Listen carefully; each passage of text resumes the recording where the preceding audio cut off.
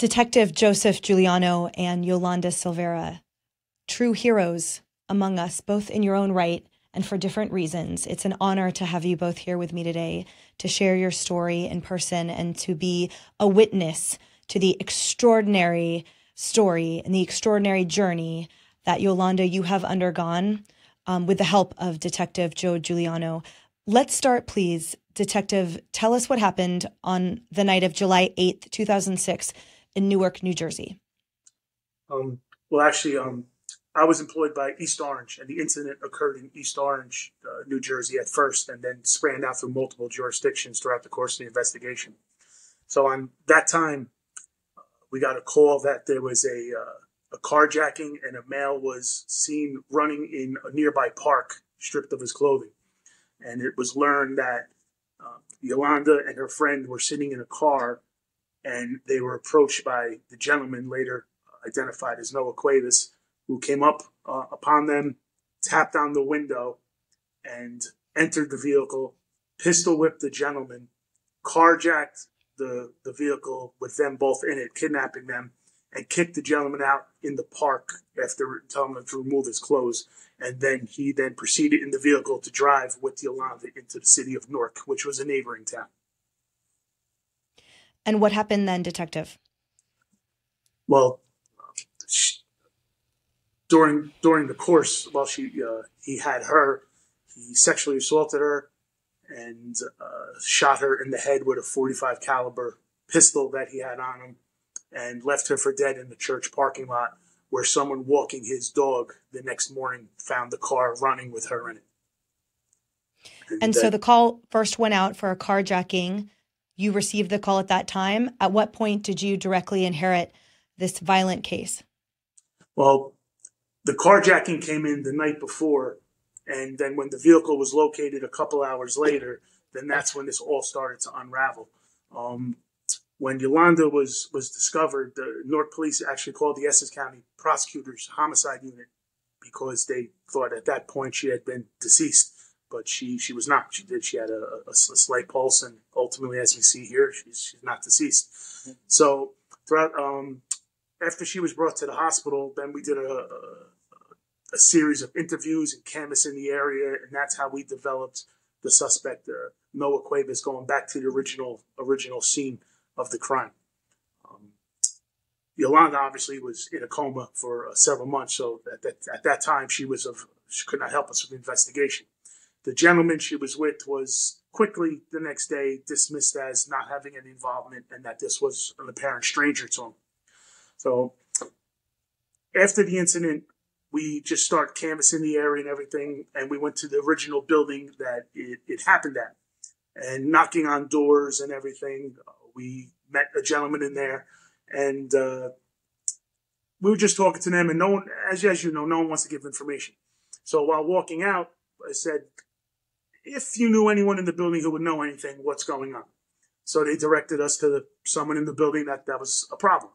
So we went to that gentleman and interviewed him. And again, reluctant to speak and everything like that. And we told him of the situation we were investigating and everything, and he didn't know anything about it. And we said, uh, well, you know, do you know anything? What's going on in the city, town? Has anyone been trying to sell a watch? This was now the next day or day after. And he goes, Yes, my friend happened to just buy a watch on Central Avenue in East Orange. So we then contacted that friend who bought a watch from this other gentleman they knew, and that watch was identified as proceeds taken the original robbery that Yolanda's friend was wearing at the time of the incident. So we then linked that stolen watch to the suspect, Noah, and that's how we were able to put warrants for his arrest for receiving stolen property. Throughout the course of the week investigation, he was tracked down with the help of the FBI, Gary Beneducci, and he was located in Middlesex County, New Jersey, and transported to the local police department, where we then picked him up and took over the, the, the interviewing process, the investigation. But that's how uh, we ended up tracking him down. Through the watch that was stolen at the time of incident was resold to someone else in the neighborhood, and that's how that's how we ended up ended up finding the suspect. And upon apprehending him, you discovered that he had been responsible for a series of brutal murders. Yeah, at this at this point, we obviously were were, were quite sure who that this was was our, our suspect. A from the watch, from interviewing uh, his family members, from um, seeing some surveillance video that you know going back that long ago was a little blurry, but once you have someone identified, you could you could tell who they are and his clothing and everything like that. So when the FBI picked him up, we were not there at the time that they picked him up. They picked him up on a Sunday. This all concluded in ten days. This investigation uh, took place, spanning out through uh, East Orange and and with the help of the FBI and tracking him down. Uh, took about three or four days. They found him in Middlesex. So when me and my partner, Detective Richie Acosta, we went to go pick him up at the local PD, we get him in the car, and I'm sitting in the back with him, and we're driving to the East Orange Police Precinct, and he asked me who we were. And I said, You don't know who we are? He said, No. I said, Well, I'm Detective Giuliano, and we're going to put you in prison for the rest of your life. And he said, Well, why do you want to do that? I said, Because we know what you did, and we'll discuss mm-hmm. it shortly. Mm-hmm. And at that point, there was no conversation until we got down to East Orange Police Headquarters. As we get him into the interview room, East Orange Police Headquarters, Detective uh, Rich Acosta, my partner, Detective Sergeant Hosea Reynolds, and myself was there.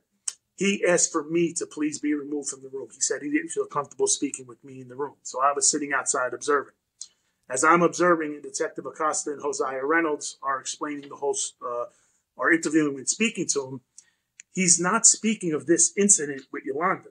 He's just off in the weeds speaking about other stuff. And he's telling a story of how, I don't even know why he wanted to bring this up, but he was telling a story how he met um, a young lady, um, if I may, uh, mm-hmm. Shawanda Hutchins, who was 14 at the time. And he met her and was walking with her and walked her at gunpoint to a vacant building where he then sexually assaulted her and shot her in the head as well. And when he did shoot her, one of the, the rounds jammed in the gun, so he had to re-rack it, and a live round was spent. Coincidentally, my partner at the time was the patrol officer that took that report from, from back. So he knew that this was a verified story. No one else would know about a live round because the gun jammed, but that's how in detail he was to say the gun jammed, I racked it, the live round fell out. So as they're talking, Detective Acosta is kind of nudging my sergeant saying, this is legit. This is legit. So now as they start talking about that more, he, he just gives in-depth detail how he tortured her verbally, saying what he was going to do to her and kill her and just how, how he enjoyed it and just let, let her know that he was going to rape, kill, and shoot her. And unfortunately, that is how that young 14 year old female's life ended in the vacant building basement on South Harrison Street in East Orange. That was uh, just one of the heinous acts. He then also just talking again, he would not bring up this situation with Yolanda, but was willing to talk about other stuff. Where he talked about a year and a half prior, he uh, encountered a young gentleman, please let me get his name, respect as well, Alan Reese, who that was in 2005. In 2005, Noah Cuebas uh, robbed and shot and tortured him verbally as well, making him plea for his life and shot him to steal the cell phone of Alan Reese. When he had the cell phone, the suspect now, he would then text. Um, there was no locks on the phone at that time, so 17 years ago, 18 years ago, he would text family members and and the grandmother and the brother of the decedent who he just killed, saying, I'm speaking to you from the grave. Um, I hope you're wearing black. He actually went to the funeral services of Alan Reese. And the family said they now, after court and seeing him, they say, We saw him at the funeral. He went there. So he taunted them and actually led his brother to where his he killed his brother behind a vacant building in Newark in the Vailsburg section. So that is just uh, two of the incidents that he just was had pleasure speaking about and, and, and held nothing back. And and then those two incidents led up to this incident in July of 2006 when unfortunately Yolanda and her friend were in the wrong place at the wrong time where this gentleman was uh, praying. He was living in the building that they were in front of. Oh yeah. Look, he was living with his. He was staying with his sister because he was just released mm. from prison uh, like a month or two months b- b- before. So he was staying with the, the sister and the brother in law. And the brother in law said, he goes, the, the man terrifies me, terrifies me. And we recovered the bloody clothing that he was wearing, the army jacket and everything in his sister's apartment, unknowing the sister and brother in law had nothing to do with it. They just had this psychopath. You know, they, they, she she was if she had no choice but to let him stay there because she was terrified of him. So if she like, if I don't let him stay, what happens? What does he do to us? If we do let him stay, what happens to us? So they were they were in a, in a very bad they were in a bad situation as well. But that is what uh, led this and uh, up to us. And this as as they're interviewing him, he's just giving uh, a plethora of stuff uh, that he did as far as shooting someone in the face and throwing him out the second floor window in in uh, Orange. He did a carjacking on the Parkway. He he there was a couple other he, he he did say he said he goes I've been killing people since I'm 14. I don't know how many people I've killed is what he said. And he later on went on to say that everything I gave you was for um was for fun, not for work, because he was a, a hired hit person through both gang members, uh, Bloods, Crips, whoever it was. If you needed someone dead, you called, you contacted Noah Cuebas, and he would he would kill on command. And that is that is the type of person we put away for, for life. And Correct. what was and what was the disposition of that case, detective? Um, he so, he somehow beat one of the carjackings. I'm not I'm not sure. He, I I think actually technically he beat your carjacking. I'm not sure, but the, the disposition was he, he pleaded to the he pleaded to a carjacking, the sexual assault, the the shooting, um, the obviously the murder of of, of Shawanda and Allen. So I believe the total sentencing time was life plus 200 years was the exact uh, Without the possibility of parole. without the possibility of, of parole. And uh, Yolanda was able to testify there. Went from, you know, calling the homicide unit, not thinking she was alive, to being able to testify in her own trial, which she's the one that put him away. We connected the dots, Mhm. but she put him away. And this whole thing is a great tribute to law enforcement and how we all work together and everything. But this is the Yolanda Silvera story. This isn't the, the cop story. So She's- Yolanda, now that we have the X's and O's by the detective, Mhm. what did it mean for you to be able to testify at that trial, to be able to put away this monster that had Was gone for so many years? because he could have done this to many multiple people if I didn't. And that's what I felt. If I didn't put him away, then he probably would be still out here Mhm. doing what he did to me. And I didn't want that. So I went to testify. At first I was afraid to do so because I thought that of his friends would retaliate on me because he told me he was a blood a gang member. But, But you- I enough courage to do it.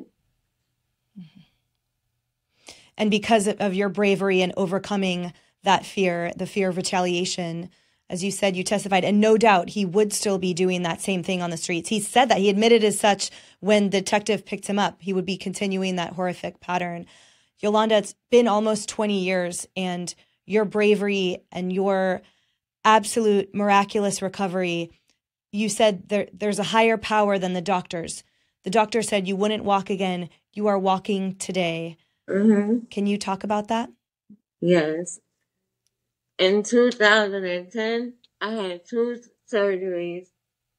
The first surgery I had was to replace the bone they took out of my head.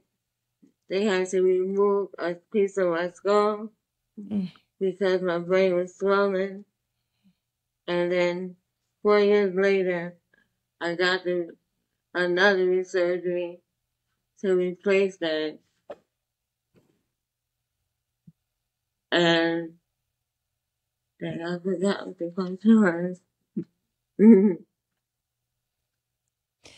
Oh, and then after that, my surgery I had on my ankle is what gave me the leeway to walk Mhm. because I had drop foot drop foot critically, your foot go down, and the bone gets stuck.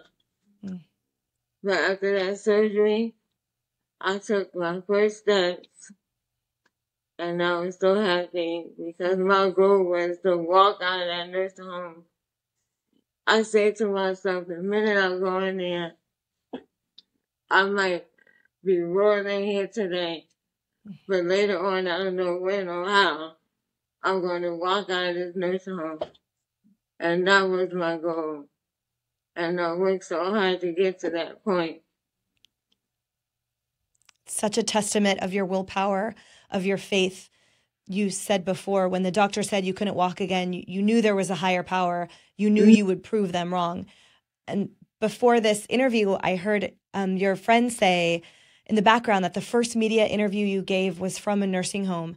And now you have your own apartment, independence. What does that mean for you? Well, it means a lot to me because looking back at how far I came mm-hmm. And how far I'm going is amazing to myself. Because there's many out there that's losing hope, that has lost hope in my same predicament. But I'm glad to be an inspiration to many. Mm-hmm. I encourage so many people. I know I did because there was my girlfriend. She was afraid of going through things, and I had to tell her, listen, if I can do it, you can do it too. You just have to put your faith where it belongs. That's right. Can you share about your family? My son was five years old when this happened to me. And he now, well, some years even, you know, just going through a lot. He didn't know what to think. As a child, it was traumatizing for him. Your mom in the hospital? No, my son. I had a sick baby in the hospital at that mm-hmm. time who later passed away. But I didn't know when he first passed away because my mother, she didn't want me to know until I got a little better.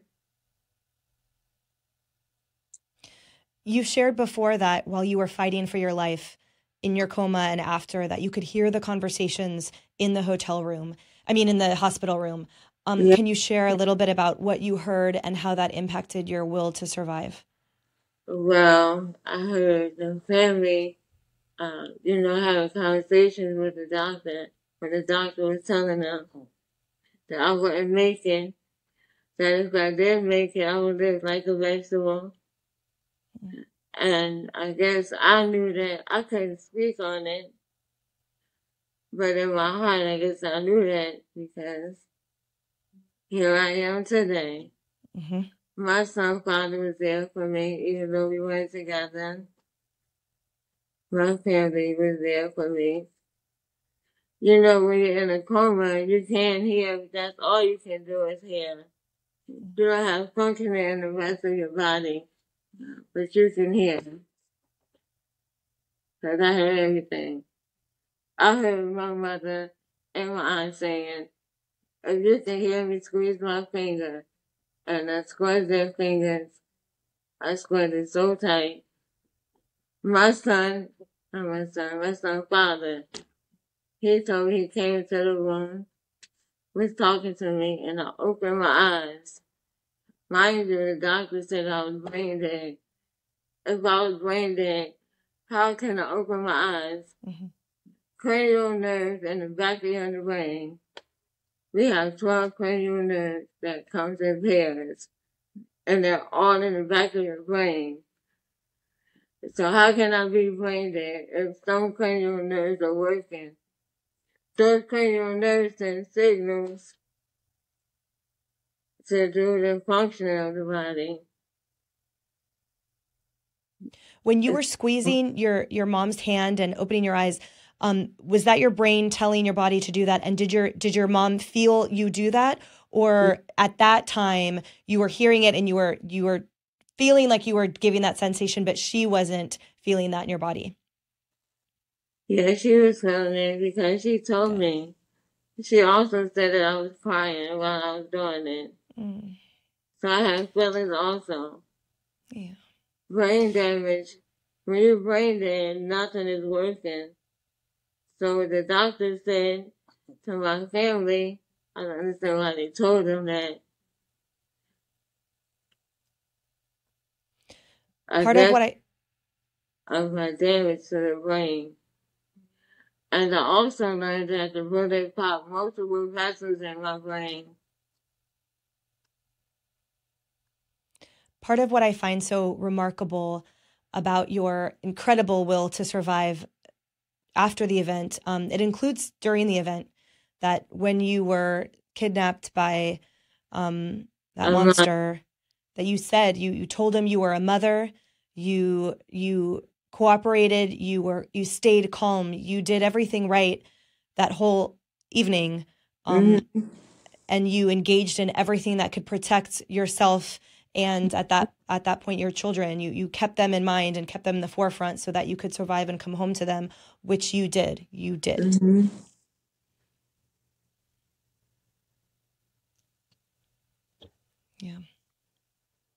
what's your recovery like now um, are there goals that you have at this moment that you are working toward in physical therapy at all Yes, I get physical therapy. Mhm. And I get occupational therapy. Mhm. I was doing cognitive therapy.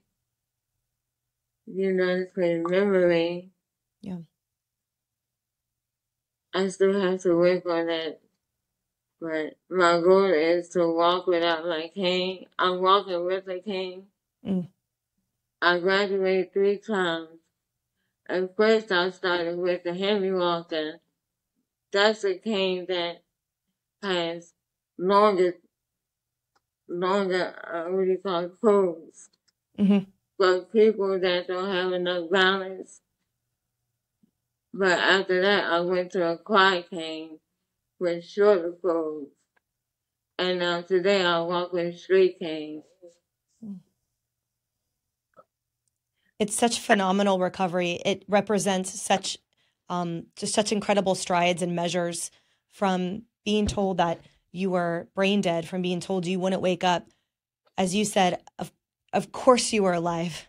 Of course you heard everything and you knew in that moment you would walk again you would wake up to the rest of the world and now you've you are mobile and you're getting through these goals one by one by one steadily. Um, you're nothing short of impressive, amazing, and, and brave. It's it's really an honor to have you share your story with us in this way as well. Detective, as you sit next to Yolanda now and and appreciating again these incredible measures of recovery that she has undergone, this almost 20 years representing of her commitment to life, commitment to living life fully, um, crediting faith, inspiring others in all of those ways. What does it mean for you?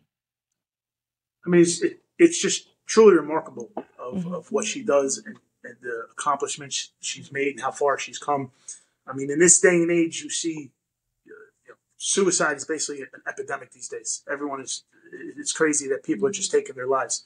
Where here is someone who they thought her life was gone, and she she keeps going and going and going. And the thing that we, you know, normal people stress over and think is the worst day possible, and what can go wrong, and who's got a pimple, and who's having a bad hair day, and here's someone who just you know keeps battling uphill, uphill, uphill, and just never looks back. And she, you know, she she thanks God for what she has now and what she's going to have in the future. Where where you know people that are perfectly healthy are talking about the negative, where here she's speaking about the positive. I, I, I can't even fathom or imagine the, the whole circumstance on her end or her family's end of how just from from just sitting in a car innocently after leaving a diner and chatting, um, you know, uh, and waking up months and months into years later into the hospital, and like she said, finding out her her, her young infant child passed away during that time, which she wasn't able to to, to attend.